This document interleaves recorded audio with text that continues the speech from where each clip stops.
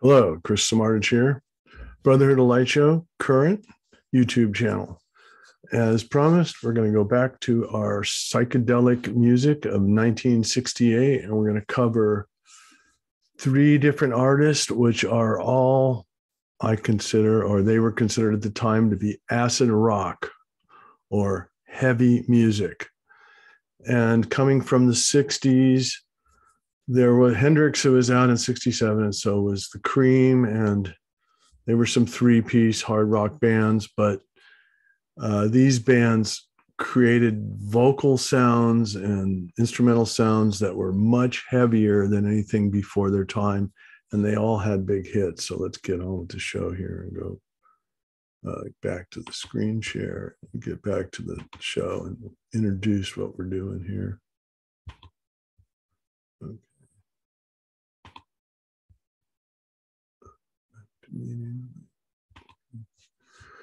And uh, here we go. So I'm going to get my laser pointer going again here. There we go. Laser pointer. Laser pointer. Okay. All right, here we go. So uh, here's the title The Birth of Psychedelic and Heavy Metal Music. Blue Cheer is our feature band and it's 1968. Acid rock is a theme of our show.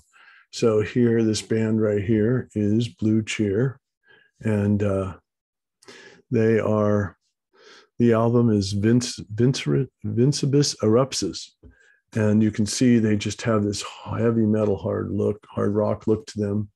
Uh, the other artist we're going to cover is going to be Big Brother and the Holding Company and we're going to be featuring Janis Joplin on vocals on some of her heavier pieces, and uh, which is also considered acid rock at the time. And then this guy, Crazy World of Arthur Brown, with the song "Fire," which is totally uh, incredible kind of British heavy metal sounding song before there was any heavy metal and uh, with some incredible screaming vocals by him. So let's go to the next slide. Oh, shit, went too far. Okay, let's go back. Okay, so we're back at Blue Cheer here. So Blue Cheer, uh, there's that's my light show. It's a blue plate special, and uh, I thought that just was appropriate for their artwork. Um, so as you can see, we've got uh, the short guy here, Dickie Peterson, the bass player and the raunchy vocalist. And then we've got uh, Paul Whaley on drums with the garbage can massive drum sound, uh, which is like a drum fill going on during the song constantly.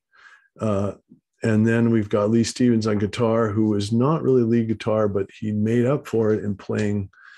His style was uh, he played kind of like uh, a lot of feedback and super heavy rhythm and uh, using fuzz pedals and wah wahs and stuff like that and created he where he made up for his leads by his interesting chords and rhythm that he did and created this heavy rock sound okay which is known as acid rock at the time.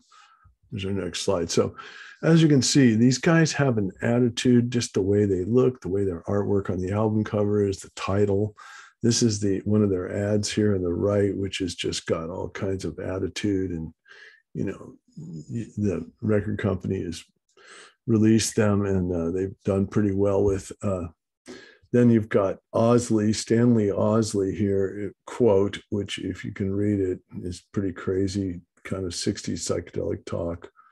Uh, and it's signed by, or, you know, notable by Stanley Owsley III who is the famous LSD chemist of the Haight Ashbury in San Francisco. And so uh, they go into, uh, there's a couple songs here that they did, which are really heavy. Uh, so you, you got their hit, Summertime Blues, okay, which is right here, uh, which is an Eddie Cochran song, and they've just changed it. And so during this period, Dickie Peterson claims that he was taking a lot of LSD, and when they were recording the record, they were on LSD, and they just were going for it. And they didn't really. They kept changing the sound of the song, and just went, you know, went in the studio and went crazy. And then the result was this heavy version of this old 60s rock song, rock and roll song, which sounds like modern day hard rock or heavy metal. I, a lot of people will argue that, but I'm just going to say it's acid rock. And then you've got Dr. Please, which is, a, and then uh, Out of Focus. And uh, then there's some covers. Uh, but those those songs, this album is really heavy. If you want to get an, an early proto hard rock album, this is the one. And uh, influenced by this intense LSD use of this band. Uh, but the amazing part is that this album charted really well. So obviously, the audience in 1968 wanted this kind of thing, you know. And so, "Summertime Blues" was number 14 on the singles chart, and then the album was number 11 uh, for that year. So I mean, when when you get up in the top 10 records, I mean, you're making money, you know, then they were touring and they were playing the Fillmore circuit. So they were they were doing good, man, you know, and people wanted this heavy raw sound, you know, it was like acceptable, which now we all know is has become like Black Sabbath and Deep Purple and uh, Led Zeppelin, you know, sort of took off the next year. They all released albums the following year in 69 and, and 70. And uh, and this music became you know mainstream so let's go to the next one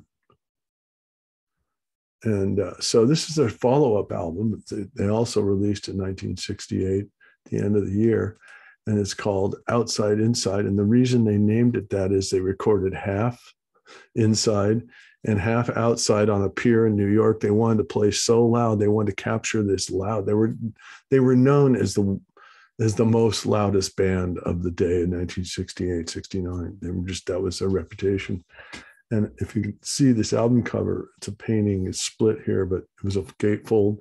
It folded out, and you know they look like they're high on some kind of drugs. And there's all kinds of drug paraphernalia throughout the painting and pictures. These guys running with a joint here, and marijuana plants, and hard drug stuff, and mushrooms, and so they're definitely influenced by this psychedelic period. Okay, so now we go to uh, the gatefold when the album opened up. And so when I'm like a 13 year old kid with getting this album and opening it up in 1968, I'm like, wow, look at those Marshalls and look at those drums. And, you know, they, it just looks like heavy. Nobody was ever had this many amps on stage like this band they they they were the ones that invented the the giant Marshall stacks, triple and double behind the band. So it was just, uh, you know, it was just there was the he- they not only sounded heavy, but they looked heavy. And then let's go to the next one. So okay, so then they created. Uh, there's the gatefold again with this weird psychedelic picture, these blurry colors, and then you've got down here, and then you've got uh, them inside the uh, the back of the album. And then uh, there was no real notable songs on this record that were hits like Summertime Blues, but here they are. And you can just see they have an attitude. And then there's Dickie just rocking on the bass. And he played that, you know, super aggressive hard rock bass with a pick. And uh, so uh, no, this album hit number 90 on the chart. So it just didn't follow up as good. And uh, and so this version of the band, these three guys ended up splitting up after this record in 1969. Uh, unfortunately, uh, so we're going to go to the next shot, which is uh, there's there's Paul playing out on the pier where they recorded it outside, obviously, and then here they are, high as a kite. You can see them, and uh, this is the painting of Outside Inside album cover in one piece, and this is uh, Lee Stevens playing at Fillmore East. And this is Lee Stevens with Linda Eastman, or soon to be Linda McCartney. And then this is a family dog poster where they're headlining at the Avalon Ballroom. And uh, so, you know, they had this short lived career with these three guys, but they created this classic heavy rock sound. A lot of bands um, copied them. And uh, they might be considered the first heavy metal band. Mm, that's arguable. Um, they're definitely the first acid rock, you know, and their first heavy band. And then also a lot of the grunge guys um, copied their sound. They they were really like the Melvins really liked Blue Cheer, and uh, the Mudhoney. If you listen to the guy from the Mudhoney, his guitar sounds just like Lee Stevens on these early Blue Cheer albums. So they influenced the grunge scene too. So they could be kind of proto doom rock, but not really. They're more like heavy rock. Okay, so now we're going to go to the next artist. So then we have the next artist, which is Big Brother and the Holding Company. The album is Cheap Thrills, and there's the Rick Griffin. I'm not Rick Griffin. Uh, R. Crumb album cover, which is cool. Features all the songs in, in kind of comic book form. And then here's the gatefold with the giant light show. That's Fillmore East. And uh, I always, once again, when I was 13, I saw open this thing up and went, oh my God, look at that light show. And then, um, so the songs on this record are, uh, there's a big hit. It's called uh, Piece of My Heart. And uh, this album did uh, number one for eight weeks. I mean, so they made some dough on this. And then it also hit uh, Piece of My Heart was number 10 on the singles chart. So, um, Big Brother had a hit, you know, even though, and then the same thing with these guitar players. They're not really, you know, the greatest guitar players, but they're using all this volume and, you know, just going for it and creating this heavy acid rock sound. And Janis Joplin is doing these vocals that are just out of this world, you know, this high pitched tremolo sound coming out of her. It's like you, you can't even believe that somebody's singing like her. Uh, it, it's just amazing. And so uh, I'm going to go to the next slide here. And so there's Janis on the back of the record, and there she's singing. And she was truly an amazing vocalist. And the later Janis Joplin albums don't feature her in these uh, these live performances on Cheap Thrills. Uh, where she's just screaming out of this world. I mean, it's just amazing. Here's the uh, gatefold with Joshua Light Show from the Fillmore East again. And uh, so uh, you can see her there on stage in the middle. And we'll move the next one. And so here they are in, uh, you know, the promo shot, but you can just see they got an attitude and they were just, you know, they were they were just a kick-ass rock band who didn't care you know they just they were they're known for their acid rock. Okay, and so here's here's a Big Brother and Holding Company. Here's a picture that Art Crumb did of Janis, which you know her just shattering windows with her vocals. And the t- couple songs, "Summertime." There's a YouTube video of her rehearsing it or doing in the studio off this record, and it's just amazing to watch her vocals in that. And then uh, Ball and Chain is this long live song they did, and uh, it's from Winterland, recorded live at Winterland Auditorium in San Francisco. And uh, she just blows your mind vocally. She just does does stuff with her vocals, which now like people like uh, Bon Scott copied, or you know, without Janis Joplin, you probably wouldn't have Bon Scott, or you probably wouldn't have Axl Rose. They kind of do similar things she does vocally. Uh, so she was the pioneer to do these crazy screaming vocals, uh, vibrato vocal sounding stuff. And then here they are, Big Brother and Holy Come to Avalon Ballroom, and that's uh, James Gurley. And then there they are with the, you know, Big Brother Holy Ball and Chain DVD you can buy. That was recorded in KQED in 1967. So there's you can actually get the performances from this band. Also, there's uh, the Ball and Chain from Monterey. Uh, the Monterey Pop Festival is really amazing. I mean, you can see like she's doing these vocals and just basically knocking the audience out. They're just blown away by her. The, the video or filming of the audience is just, you know, they're just completely blown away by her vocal or her performance.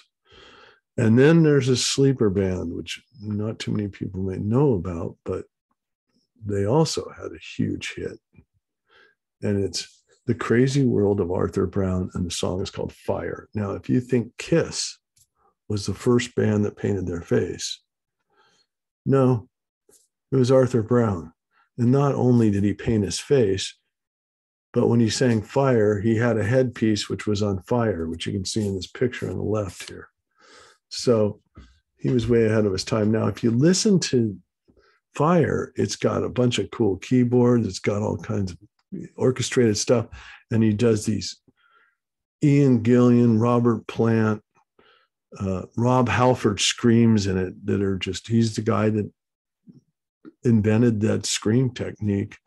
And, uh, you know, that on pitch scream that, that uh, Ian Gillan does uh, during Child in Time. Well, on Fire, he's doing the same screams.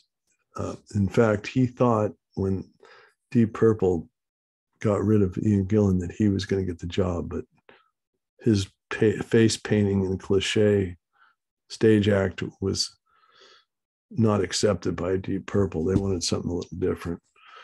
But anyway, so Arthur Brown, Fire. Okay. And that song was number two in the United States in 1968, number one in the UK, and number one in Canada. So, I mean, the the audience uh, you know this early coming off the 60s in the late mid 60s was ready for this heavy music which is amazing uh, you know and these were these were big hits these three bands i mean it's just incredible you know and they were considered to be called acid rock at the time okay and now here's uh, blue cheers 1969 album new and improved and so, uh, according uh, according to Lee Stevens, he quit the band because the other two guys were taking way too many drugs, and uh, they got this guy Randy Holden from Sons of Adam from L.A.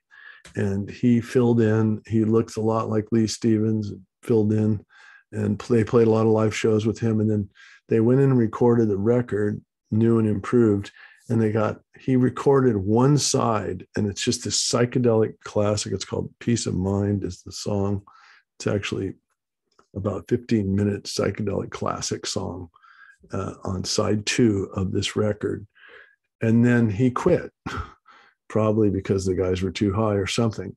And then Dickie ends up getting a bunch of guys to come in and fill in and they do this kind of country rock band sound. So you got one side with six songs that are country rock, including a Dylan song, and then you've got this Randy Holden psychedelic classic on the second side. So that would, if you're into psychedelic music, that'd be worth checking out because it's really incredible uh, psychedelic music by um, uh, by Randy Holden, who's still alive and still plays music today.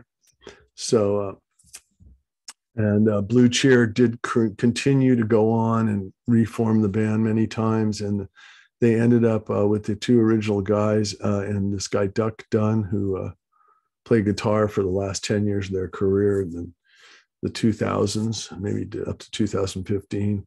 And they have a live album out. It's pretty cool.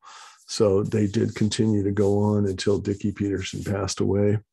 So they were uh, they they had a good career, and of course, "Summertime Blues" is always in in their catalog.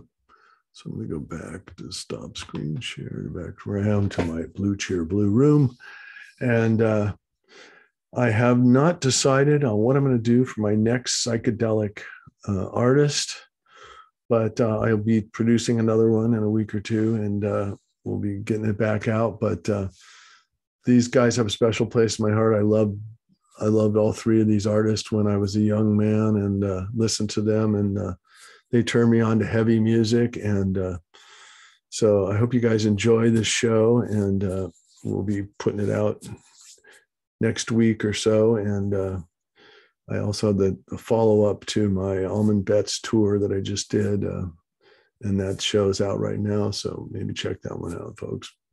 Also, uh, give it some likes and some views. All right. So signing off. We'll see you guys next time. And I hope you enjoy heavy music of the 60s, psychedelic acid rock.